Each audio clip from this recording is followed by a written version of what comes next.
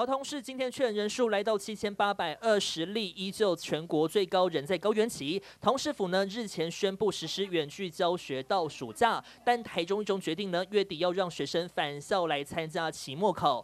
有学生呢在干部群组提到，如果因为期末考而染疫，得不偿失。但校内黄姓社团组长这样回应学生：不会啦，染疫后有暑假可以好好休养。让学生看了直呼离谱。而市府呢在下午的记者会上也做出了回应：学校要采取实体上课或实体的呃这个考试来讲，我们基本上是尊重这个学校的决定，而且我相信学校在做这个决定，哦，应该也都是经过。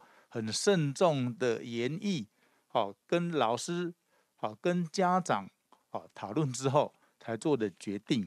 那当然，现在学生啊会哦这个有这个意见出来。那我们教育局也注意到了，今天我们教育局哈，因为疫情跟他们比较没有关联，所以就没有来出席今天的记者会。不过，我想这个问题他们应该也都知道了，他们会跟校方呃好好的来这个研议。